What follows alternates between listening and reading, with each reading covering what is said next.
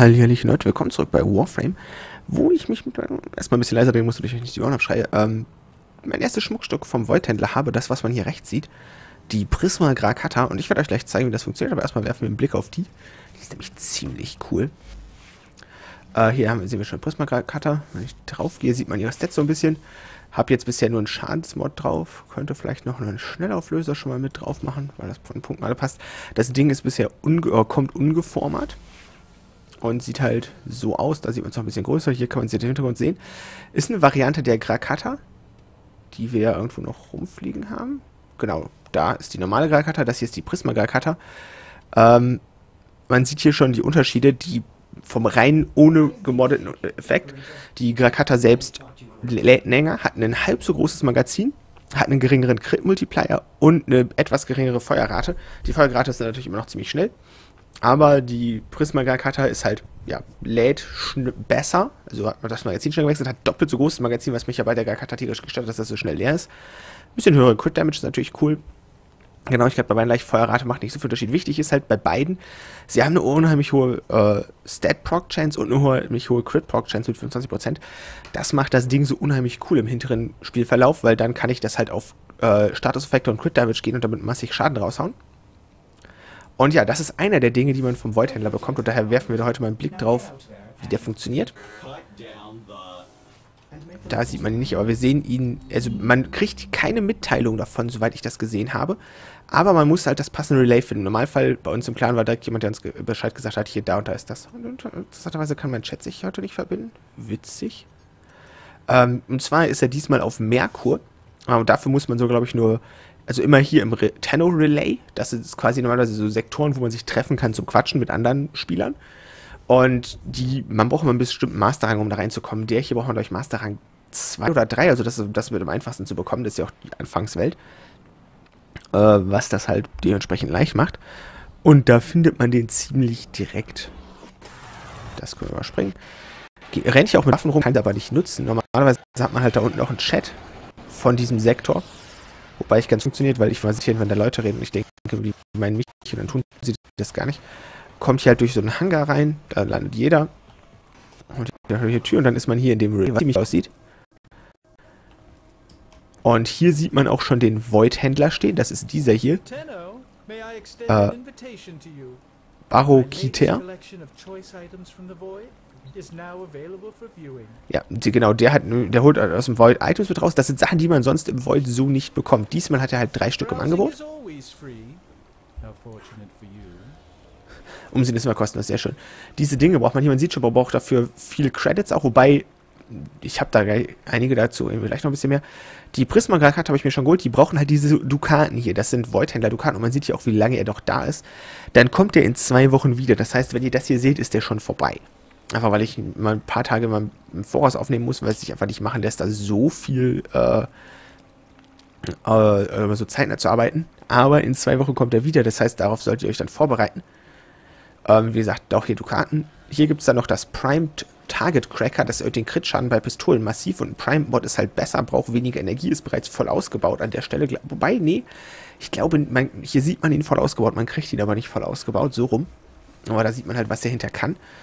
Ähm, ich weiß nicht wirklich, ob es da irgendwelche Regeln fürs Einsetzen gibt. Ich hatte was gehört von Prime äh, Mods gehen nur auf Primed äh, Waffen oder halt bei für Warframe Mods halt nur auf Primed Warframes. Das weiß ich aber nicht sicher so viel.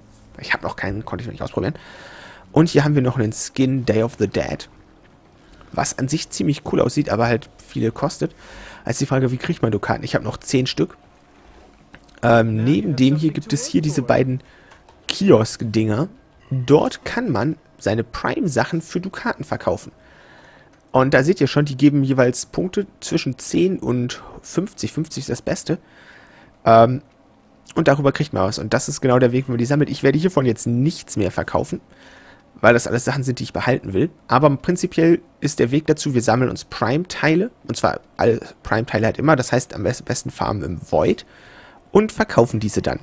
Äh, wichtig ist, er nimmt sowohl Blaupausen, zum Beispiel hier oben in der Systemaufpause, er nimmt aber auch das Rhino-System selbst. Und es gibt Sachen, da gibt zum Beispiel äh, der Helm, hier zum Beispiel Void Prime Helm Blaupause gibt, gibt 20, der, Vo äh, der Volt Helm selbst gibt 50. Und ich muss mir davon auch noch mal einen craften. Ich habe halt die für 50 verkauft, weil dann gibt man halt mehr Dukaten daraus. Der hier gibt auch so schon 50, also es schwankt so ein bisschen. Einfach zu bekommene Sachen geben halt nicht so viel, zum Beispiel die Paris Prime Unterteil. Und die Sehnen geben halt nicht so viel, weil die sind leicht zu farmen. Ortos Prime zum Beispiel, den ich ja verwende, gibt halt auch kaum was, weil der halt leicht zu bekommen ist. Nova Prime gibt auch nur 10, ey. Boah.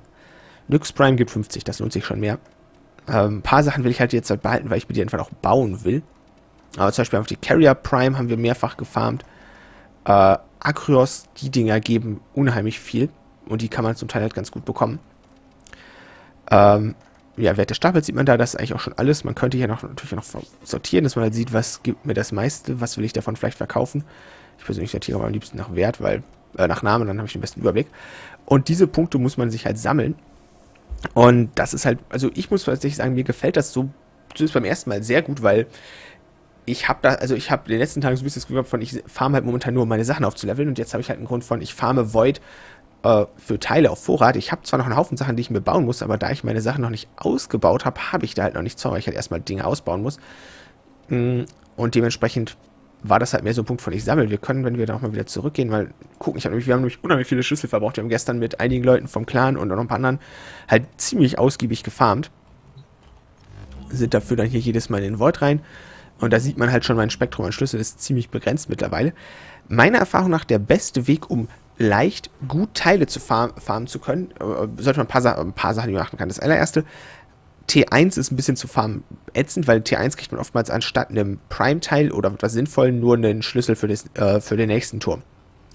Äh, was natürlich dann quasi heißt, ich kann den nächsten nochmal machen, aber es ist halt vertane Zeit. Und man hat halt hier auch noch mit die höchste Chance, so wie ich das beobachtet habe, Formats Blaupausen zu bekommen, die halt nichts wert sind für an Dukaten. Klar, irgendwann braucht man Former, aber erstmal für den Aspekt sind die nicht so hilfreich. Also am besten irgendwie auf Tier 2 anfangen. Und der, die beste Mission meines Erachtens zum schnell Dinge zu farmen ist äh, Gefangennahme, Capture. Denn die schafft man selbst in T4 in zwei bis drei Minuten, wenn man ein volles Team dabei hat. Wenn ich sie alleine mache, vielleicht fünf Minuten, weil ich da ein bisschen brauche, um den Boss kaputt zu hauen. Aber wir, wir sind da mit vier Leuten rein.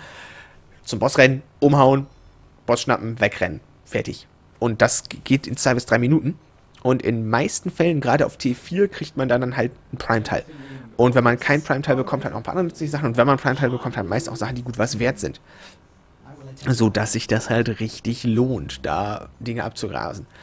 Äh, nächstbeste Alternative in meinen Augen Auslöschung, wenn man einen Warframe hat, der das sehr schnell kann. Wir haben dann zum Beispiel den äh, Calvas dabei gehabt, der hat, ist mit Ember rumgerannt, da haben wir das halt auch innerhalb von 5 Minuten durchgehabt. Gibt halt auch wieder einen Prime-Teil. Man kann auch ein paar andere Sachen machen. Und wir haben Abfangen zum Beispiel probiert. Ähm, ich weiß gar nicht, ob ich da selbst überhaupt noch Schlüssel für habe. Ich glaube nicht allzu viel. Haben wir probiert, war dann ein bisschen das Problem, dass wir da halt einfach lange drin bringen und wir waren mit zwei, uns sind zwischendurch zwei Spieler ausgefallen, dann waren wir noch zu zweit, damit war das halt nicht mehr vernünftig machbar, was halt kacke ist. Dann haben wir, ähm, also man braucht eigentlich mindestens drei, um die Punkte zu sichern. Überleben geht auch, aber Überleben hat so ein bisschen das Problem von, man braucht halt fünf Minuten für eine Rotation. Wir haben, eine Rotation, wir haben irgendwie Überleben zwei gemacht. Die ersten beiden Rotationen waren Formers, die zwei, äh, also die beiden A-Rotationen waren Formers, die B-Rotation waren Credits.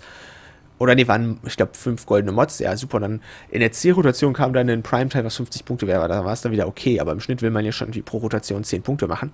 Was das halt unter, unter ziemlich nervig machen kann. Ähnlich sehe ich persönlich auch bei Verteidigung. Finde ich persönlich auch nicht so schön zu farmen, weil es auch langwierig ist. Und Verteidigung gerade und auch mobile Verteidigung das Problem hat. Also mobile Verteidigung geht alleine, gibt aber halt einen Drop. Oh, wow, dafür, dass man es jetzt. Verteidigung geht alleine ziemlich schlecht. Meiner Erfahrung nach. Das ist halt ziemlich ätzend.